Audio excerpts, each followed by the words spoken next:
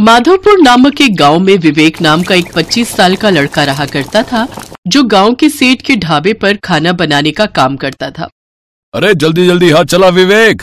बाहर ग्राहक कब से इंतज़ार में बैठे हैं? आज मैं पालक पनीर की खास रेसिपी बना रहा हूँ, सेठ जी। देखना, जो एक बार खाएगा, वो अपनी उंगलियाँ चाटता रह जाएगा। अरे, उंगलियाँ चाटने की बात बाद में करना। पहले जाकर उन्हें भोजन देकर आओ भाई। बस पाँच मिनट, सेठ जी। मैं अभी सबको भोजन लगाता हूँ। कुछ देर बाद विवेक ने सबको भोजन लगाया। विवेक के हाथ का बना हुआ पालक पनीर सबको बहुत पसंद आया। आज के पालक पनीर का तो कोई जवाब ही नहीं है, सेठ जी। पेट भर गया, लेकिन मन नहीं भरा। अब मैं क्या करूँ भाई? मेरे ढाबे पर खाना ही इतना अच्छा बनता है कि लोगों का पेट तो भर जाता है, लेकिन मन नहीं भरता। मेरी पत्नी इतना अच्छा खाना जो बनाती है। अरे, क्यों झूठ बोल रहे हो, सेठ? सारा गाँव जानता है। भोजन तो विवेक बनाता है।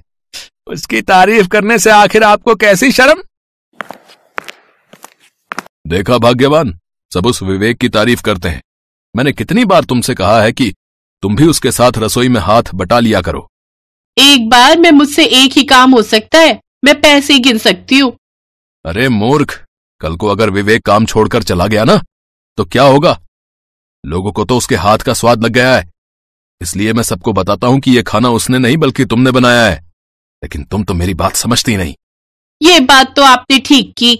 अब कल से मैं उसके बगल में कुर्सी लगाकर बैठूँगी। अगले दिन से सेठानी विवेक के बगल में ही कुर्सी लगाकर बैठने लगी। फिर सेठ ने सब गाँव वालों को ये यकीन दिला दिया कि भोजन विवेक नहीं बल्कि उसकी पत्नी बनाती है। ऐसे ही कुछ दिन बीतते हैं। एक रोज विवेक ढाबे पर जाने के लिए निकल ही रहा था कि तभी सेठ जी उसके घर पर आ जाते हैं। सेठ जी आप मैं तो ढाबे पर आने ही वाला था। वही मैं तुम्हें बताने आया हूँ कि आज के बाद ढाबे पर काम करने की कोई ज़रूरत नहीं है। ये ये कैसी बातें कर रहे हैं आप सेठ जी? जहाँ तक मुझे पता है मैंने पूरी मेहनत से आपके ढाबे पर काम किया है और ना ही कभी आपको शिकायत का मौका दिया। तुम्हारी वजह से मेरा ढाबा बदनाम हो रहा है। ये आप कैसी बातें कर रहे हैं सेठ जी? जब से मैंने आपके ढाबे पर काम करना शुरू किया है आपका ढाबा अच्छा खासा चलने लगा है। हाँ लेकिन अगर मैंने तुझे कुछ दिन और ढाबे पर काम करने दिया तो मेरे ढाबे का नाम रोशनदा ढाबा की जगह विवेकदा ढाबा हो जाता। इसलिए मैं अभी तुझे काम से निकालता हूँ। ऐसा मत कहिए सेठ जी। मैं अनाथ हूँ। बड़ी मुश्किल से अपना पेट पालता हूँ। और मुझे तो खाना बनाने के अलावा और कोई काम भी नहीं आता। नहीं आता तो वो तुम्हारी समस्या है मेरी थोड़ी। और हाँ एक बात कान खोलकर सुन ले। आज के बाद अगर ढाबे के आसपास भी दिखे ना तो धक्के मारकर बाहर फेंकवा दूँगा। बेचारा विवेक बेरोजगार हो गया। कुछ दिन घर पर रहने के बाद उसे एक विचार आया और वो सीधा गाँव के मुखिया के पास पहुँच गया मदद के लिए। मुखिया जी मैं अपना गाँव छोड़कर नहीं जाना चाहता और यहीं रहकर अपना ढाबा खोलना चाहता हूँ। मैं अनाथ हूँ सेठ जी। मेरी मदद कीजिए। मुझे कुछ पैसे ढाबा खोलने के लिए दे दीजिए। अच्छा ठीक है। तुम एक काम करो जो मेरी ज़मीन बंजर पड़ी है ना वहीं पर अपना ढाबा खोल लो। और ये ये कुछ पैसे, ये लो। इससे ढाबा बना लो, ठीक है? विवेक खुशी खुशी घर लौट आता है। कुछ ही दिन में उसका ढाबा बनकर तैयार हो गया और उसमें लोगों की भीड़ लगनी शुरू हो गई। अब सेठ जी का ढाबा खाली रहने लगा। ये बात सेठ जी को अच्छी नहीं लगी। फिर एक रोज सेठ जी ने चुपके से एक ग्राहक को पैसे देकर विवेक द्वारा लाए हुए राशन की बोरी में दवाई मिला दी, जिससे लोगों का पेट खराब हो गया। और ग्राहकों ने उसके ढाबे पर आना बंद कर दिया। अब उसका ढाबा बंद हो गया। फिर मुखिया उसके पास आया। देखो मुझे मेरा पैसा और ब्याज चाहिए। ब्याज? लेकिन ब्याज की तो कोई बात ही नहीं हुई थी। मैंने कहा था लेकिन शायद तुमने सुना नहीं। लेकिन मैं पैसे कहाँ से लाऊं? मेरे पास तो पैसे नहीं है मुखिया जी। तो फिर अपना ये घर खाली कर चल। मुखिया ने विवेक को धक्के मारकर घर से बाहर निकाल दिया। बेचारा विवेक आँखों में आँसू लिए हाईवे किनारे लगे पेड़ के नीचे बैठ गया और रोते हुए अपनी किस्मत को कोसने लगा। तभी उसने देखा कि उस पेड़ पर एक चिड़िया का घोंसला बना हुआ है। उसमें एक चिड़िया बैठी हुई है और उसके ऊपर एक चील मंडरा रही है। मेरा घर तो उजड़ गया लेकिन मैं इसका घर नहीं उजड़ने दूँगा। विवेक ने पत्थर मारकर उस चील को वहाँ से भगा दिया। तभी एक चमत्कार हुआ। डरो मत बरसों पहले मुझे एक श्राप के कारण इस घोंसले में कैद कर दिया गया था। अगर तुम उस चील को नहीं भगाते तो वो मुझे मार देती। लेकिन अब तुम अपने असली रूप में कैसे आ गई?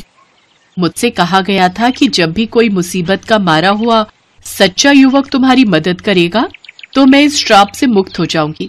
अब देखो मैं श्राप मुक्त हो गई। तुमने मेरी मदद की है इसलिए मैं भी तुम्हारी मदद करूँगी।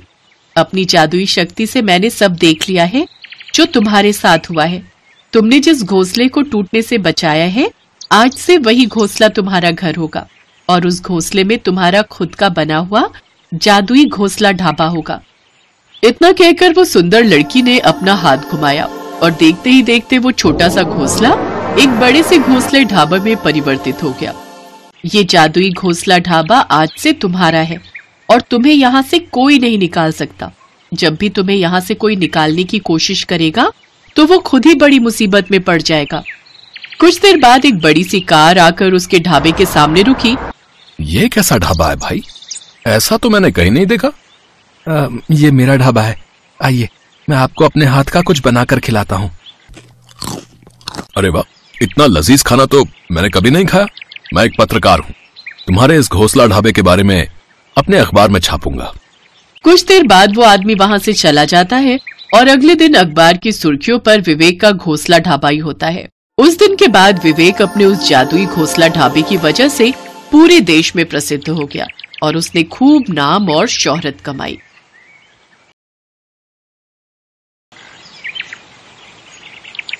ये कहानी है नीरज की, जिसके पिता इस दुनिया में नहीं थे और नीरज पढ़ा लिखा भी नहीं था। इसीलिए वो एक ढाबा चलाकर अपना और अपनी माँ का गुजारा चला रहा था। नीरज की माँ लीला भी ढाबा चलाने में उसकी मदद किया करती थी।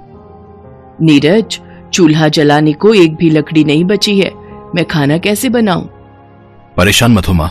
मैं अभी जंगल जाता हूँ और ढेर सारी लकड़ियाँ काट कर ले आता हूँ। फिर दोनों मिलकर फटाफट खाना बना लेंगे। नीरज फ़ौरन अपनी कुल्हाड़ी लेकर जंगल की तरफ़ चला गया। नीरज के ढाबे पर हर रोज गाँव के कई लोग खाना खाने आते थे लेकिन फिर भी नीरज की कमाई बहुत ज़्यादा नहीं थी क्योंकि गाँव में कमाई से ज़्यादा लागत थी। यही वजह थी कि उसे चूल्हा जलाने के लिए जंगल से लकड़ियाँ काट कर लानी पड़ती थी। अब हाँ इस पेड़ पर काफ़ी लकड़ी है। इसी से शुरू करता हूँ। आह आह मेरे पंख कोई बचाओ कोई है कोई तो मेरी मदद कर दो। अरे ये आवाज़ तो किसी लड़की की लगती है। लगता है किसी मुसीबत में है। मुझे देखना चाहिए। नीरज उस आवाज़ की तरफ़ गया। उसने देखा कि वहाँ पर एक परी जैसी दिखने वाली लड़की थी जिसके पंख कांटों भरी झाड़ी में फंसे हुए थे। ये देखो क्या शौक चढ़ा था तुम्हें ये परी वाले कपड़े पहनकर यहाँ जंगल में घूमने का? देखो फालतू की मुसीबत मोल ले ली ना। रुको मैं अभी नकली पंखों को काटकर तुम्हें इन झाड़ियों से अलग करता हूँ। नहीं, मेरे पंखों को हाथ भी मत लगाना तुम। ये नकली नहीं है, ये मेरे असली पंख हैं और मैं एक असली परी हूँ। उस परी की बात सुनकर नीरज चौंक गया। गौर से देखने पर उसे एहसास हुआ कि वो पंख वाकई असली थे, क्योंकि कांटों में फंसे होने की वजह से उनसे काफ़ी खून बह रहा था।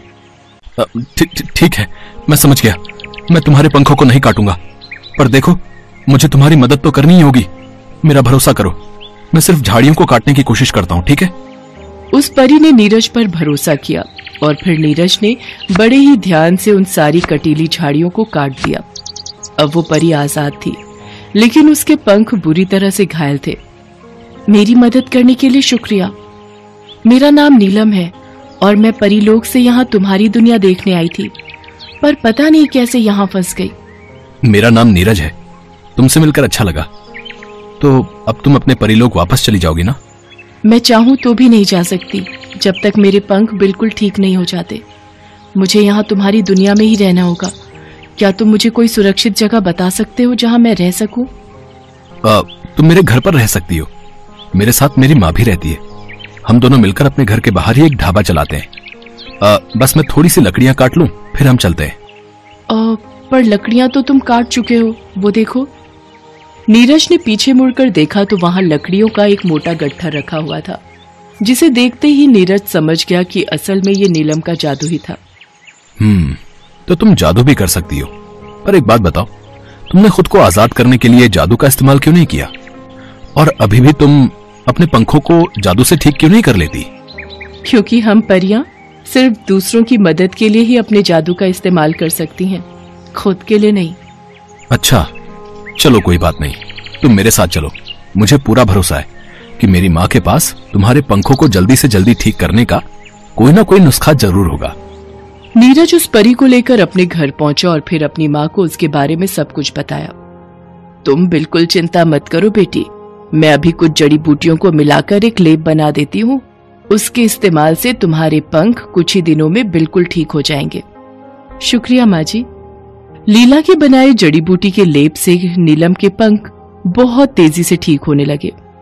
लेकिन नीरज के हालात हर बीतते दिन के साथ और भी खराब होते जा रहे थे। अम, ये कैसी दाल मखनी है भाई? है? मक्खन का तो नामो निशान भी नहीं है इसमें। आ, मक्खन कहाँ से डालो भाई साहब? यहाँ गाँव में खाने का दाम बहुत कम है। थोड़ा भी दाम बढ़ाओ तो लोग खाने से ही मना कर देते हैं। अब ये सब बहाने हैं। साफ़ बात है भाई। खाने में स्वाद तो माल मसाले से ही आता है। अगर वही नहीं डालोगे तो फिर तुम्हारे ढाबे पर आने का क्या फ़ायदा? सादी दाल तो घर में भी खाने को मिल जाती है। नीरज मजबूर था। वो चाहकर भी अपनी लागत को नहीं बढ़ा सकता था क्योंकि उसके लिए उसके पास पैसे ही नहीं थे। अरे नीरज क्या हुआ बेटा? क्या बोल रहा था वो आदमी? बस माँ और क्या बोलेगा? दाल मखनी में मक्खन ढूंढ रहा था। नहीं मिला तो नाराज़ हो गया। लगता है अब फिर कभी अपने ढाबे पर खाने नहीं आएगा। नहीं आता है ना आए भाड़ में जाए। तू अपना दिल छोटा मत कर बेटा। ये गाँव के लोग हैं ही ऐसे। हर कोई उधार खाकर जाता है ऊपर से इन्हें दाल में मक्खन भी चाहिए। नहीं माँ लोग जैसे हैं वैसे ही रहेंगे। पर हम ऐसे हाथ पर हाथ रखकर नहीं बैठ सकते वरना हमारा ढाबा बंद हो जाएगा। नीरज के चेहरे पर हताशा और मायूसी साफ़ दिख रही थी साथ ही चिंता भी। उसकी माँ लीला भी उदास होकर अपनी बहन से मिलने उसके घर चली गई। क्योंकि उसके पास भी इस समस्या का कोई समाधान नहीं था। लेकिन वहाँ कोई था जो सही मायने में नीरज और लीला की मदद कर सकता था। हम्म ये दोनों कितने परेशान हैं। और नीरज तो मेरे जादू के बारे में जानता भी है, लेकिन फिर भी इसने मुझसे मदद नहीं मांगी। इतनी परेशानी में भी इन दोनों ने मेरी मदद की। तो मुझे तो इनकी मदद करनी ही होगी। नीलम परी के पंख अब बिल्कुल ठीक थे। वो परीलोक वापस जा सकती थी। लेकिन उससे पहले उसने नीरज की मदद करने का फैसला किया। हम्म तो ये है वो दाल मखनी ठीक है? तो ये गया इसमें ढेर सारा मक्खन। हम्म बस इतना काफ़ी नहीं है। मुझे कुछ और भी करना चाहिए। नीलम परी ने उस दाल मखनी के बर्तन पर अपना जादू कर दिया और फिर वहाँ से चुपचाप वापस अपने परिलोक चली गई। फिर कुछ देर बाद अरे भाई कोई है क्या यहाँ? खाना मिलेगा क्या? आ, हाँ हाँ क्यों नहीं साहब? आइए बैठिए। दाल मखनी और रोटी बिल्कुल तैयार है। बस मैं अभी लेके आया। नीरज खाना लेने ढाबे के अंदर गया। उसने जैसे ही दाल निकालने के लिए भगोना खोला तो दाल के ऊपर ढेर सारे मक्खन को तैरता हुआ देखकर हैरान रह गया। ये इतना सारा मक्खन? लगता है माँ ने डाला होगा। पर वो इतना सारा मक्खन लाई कहाँ से? चलो बाद में पूछ लूँगा। फ़िलहाल खाना लेकर जाता हूँ बाहर। नीरज खुशी खुशी वो ढेर सारी मक्खन वाली दाल मखनी और गर्मा गर्म रोटियाँ लेकर ग्राहक के पास गया जिसे खाते ही ग्राहक का चेहरा खिल उठा। भाई वाह भाई वाह है? सच में मज़ा आ गया भाई। मैंने शहर से एक से एक होटल की दाल मखनी खाई है पर इतना मक्खन तो कोई भी नहीं डालता भाई। और तुम इतने कम दाम में इतना मक्खन डाल रहे हो? मानना पड़ेगा भाई मानना पड़ेगा। और ये भी कहना पड़ेगा कि तुम्हारी दाल मखनी का स्वाद भी बहुत बढ़िया है। शुक्रिया साहब। मुझे खुशी है कि आपको मेरा खाना पसंद आया। ये बढ़िया है तो पसंद तो आनी ही है। आ, मैं ऐसा करता हूँ तुम्हारे पास और ग्राहक भेजता हूँ। मेरे साथ और भी लोग शहर से आए हैं। वो तालाब के पास जो फैक्ट्री का काम चल रहा है ना हम सब उसी के सिलसिले में यहाँ आए हैं। मुझे उम्मीद है कि तुम्हारी ये दाल मखनी सभी को पसंद आएगी हाँ। तुम तैयार रहो मैं बस अभी भेजता हूँ उन्हें। और हाँ उनके आने से पहले जरा दाम भी बढ़ा लो। स्वाद के हिसाब से खाने का दाम बहुत ही कम है यहाँ भैया हाँ। इतना कहकर वो आदमी वहाँ से चला गया। जो कुछ हो रहा था नीरज का उस पर विश्वास कर पाना बहुत मुश्किल था। लेकिन फिर भी उसने होश संभाला और फटाफट रसोई में जाकर काम में लग गया। ऐसा करता हूँ फटाफट और रोटियाँ बना लेता हूँ। दाल तो शायद काफ़ी होगी। नीरज ने ऐसा ही किया। कुछ ही देर में उसके ढाबे के बाहर ग्राहकों की भीड़ जमा हो गई। नीरज ने फटाफट सभी को दाल मखनी के साथ गर्मा गर्म रोटियाँ परोसी और सभी ने बड़े ही चाव से खाना खाया। सारा दिन यही सब चलता रहा। बावजूद इसके कि नीरज ने दाल मखनी का दाम पहले से ज़्यादा कर दिया था। लोगों ने भरपेट खाया और उसका दाम भी चुकाया। फिर शाम के वक्त लीला जब वापस आई तो ढाबे का हाल देखकर चौंक गई। अरे नीरज, इतने सारे बर्तन और मैंने बाहर देखा, तूने दाल मखनी का दाम बढ़ा दिया है। नीरज लीला को सारी बात बताता है। ये तो बड़े कमाल की बात है। पर बेटा दाल मखनी में मक्खन मैंने तो नहीं डाला। तो फिर वो आया कहाँ से? ये बात तो मुझे भी परेशान कर रही माँ। खैर ये सब बाद में सोचेंगे। अभी मुझे ये बता कि थोड़ी बहुत दाल बची है कि नहीं वरना मैं जल्दी से कुछ और बना देती हूँ। बेचारी नीलम को भी तो भूख लगी होगी ना? अ, मैं दाल का भगोना खोलकर देखता हूँ माँ। आज बहुत ग्राहक थे तो शायद ही दाल बची हो। नीरज ने दाल का भगोना खोलकर देखा तो एक बार फिर हैरान रह गया। क्योंकि दाल का भगोना दाल से पूरी तरह से भरा हुआ था। माँ ये ये तो पूरा भरा हुआ है पर ऐसा कैसे हो सकता है? हैं? ये तो चमत्कार है बेटा। अब जा जल्दी से जाकर नीलम को बुला ला मैं गरम रोटियाँ बना रही हूँ। तुम दोनों साथ बैठकर खा लेना। नीरज को बात कुछ कुछ तो समझ आ रही थी लेकिन जब नीलम परी उसके कमरे में नहीं मिली तो उसे पूरा यकीन हो गया कि उसकी सीधी साधी दाल मखनी को जादुई दाल मखनी बनाने वाली और कोई नहीं बल्कि नीलम ही थी जो अब वापस परिलोक जा चुकी थी। नीरज क्या हुआ बेटा? नीलम कहाँ है? वहीं जहाँ उसे होना चाहिए माँ। चलो हम मिलकर दाल मखनी खाते हैं और सबको खिलाते हैं। अब ना तो नीरज को दाल मखनी बनाने के लिए कभी कोई लागत लगानी थी और ना ही हर रोज उसे खुद पकाना था। क्योंकि नीलम परी के जादू के असर से दाल मखनी का वो भगोना कभी खाली ही नहीं हुआ। उस जादुई दाल मखनी से नीरज ने न सिर्फ़ अच्छी कमाई करके अपने हालात बदले, बल्कि उसने न जाने कितने गरीबों का पेट भी मुफ़्त में भरा।